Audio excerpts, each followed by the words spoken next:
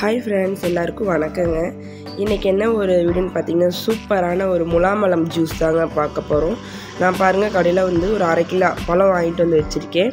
அதை வந்து நம்ம தோல்லாம் எடுத்துட்டு பழத்தை வந்து பொடிசு பொடிசாக கட் பண்ணி நம்ம ஜூஸ் ரெடி பண்ணிடலாம். பாருங்கள் தோல் வந்து நான் ரிமூவ் பண்ணிகிட்ருக்கேன் ஸோ இந்த மாதிரி தோல் வந்து நீங்கள் ரிமூவ் பண்ணிக்கோங்க. பழம் வந்து செம்ம டேஸ்ட்டாக இருக்குங்க. ஸோ ஜூஸ் போட்டு குடித்தோம்னா இன்னும் செம்ம டேஸ்ட்டாக இருக்கும். உடம்புக்கு ரொம்ப நல்லதுங்க. இந்த வெயில் சமயத்தில் பார்த்தீங்கன்னா தினமும் ஏதாவது ஃப்ரூட் ஜூஸ் வந்து எடுத்துக்கோங்க. உடம்புக்கு ரொம்ப நல்லது. முலாம்பழத்தில் பார்த்தீங்கன்னா நிறைய சத்துக்கள் இருக்குதுங்க. ஸோ குழந்தைங்களுக்கு ரெகுலராகவே ஏதாவது ஒரு ஜூஸ் போட்டு கொடுங்க. அப்போ தான் வெயிலோட தாக்கத்துலேருந்து நம்மளை காப்பாற்றிக்க முடியும்.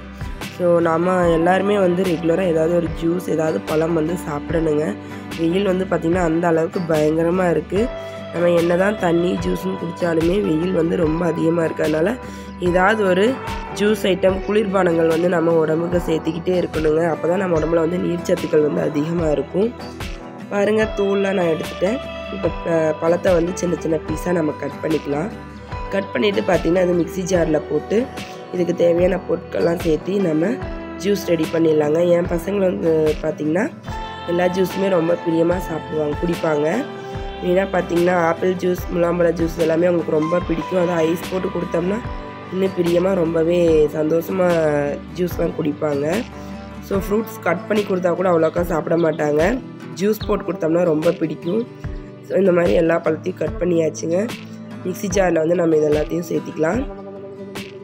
கூட வந்து பார்த்திங்கன்னா நான் வந்து சர்க்கரையும் பாலும் மட்டும் சேர்த்திக்கிறேங்க. கூட வேறு எதுவுமே சேர்த்துல.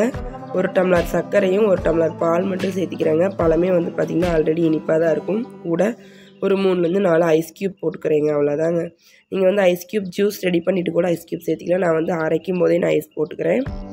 ஸோ இப்போ நம்மளுக்கு ஜூஸ் ரெடி ஆகிடுச்சு நம்ம இதை வந்து ஒரு பாத்திரத்தில் இது வந்து நம்ம வடிகட்டவே தேவையில்லைங்க. மற்ற ஜூஸ் எல்லாம் கூட பார்த்திங்கன்னா வடிகட்டணும். இந்த முலாமலை ஜூஸ் வந்து நம்ம ஃபில்ட்ரு பண்ணவே தேவையில்லை. அப்படியே நம்ம குடிச்சிக்கலாம். பாருங்கள் சூப்பராக எனக்கு முலாம்பழ ஜூஸ் ரெடி ஆயிடுச்சு. நீங்களும் இந்த மாதிரி வீட்டில் ரெடி பண்ணி பாருங்கள் கடையில் வாங்கினா ஒரு டம்ளர் வந்து நேற்று நான் வந்து கடையில் ஆப்பிள் ஜூஸ் வாங்கினாங்க. என் பையனுக்காக நாற்பது ரூபா சொன்னாங்க. ஸோ வீட்டில் இந்த மாதிரி ரெடி பண்ணிக்கலாம் இந்த வீடியோ பிடிச்சினா மறக்காமல் லைக் பண்ணுங்கள் ஷேர் பண்ணுங்கள்